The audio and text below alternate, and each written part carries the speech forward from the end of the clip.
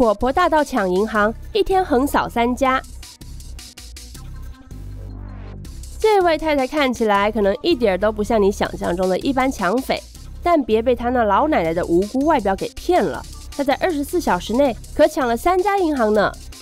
据纽泽西警方报告，五月十三日早上，一家富国银行发生抢案，嫌犯走进银行，把一张纸条交给出纳员，得手后即扬长而去。当天晚上，这坏婆婆又来到约二十英里外一家多伦多道明银行，重施故技。隔天早上，没错，她又干了一票，这次是在另一家多伦多道明银行，离上一家分行仅五英里远。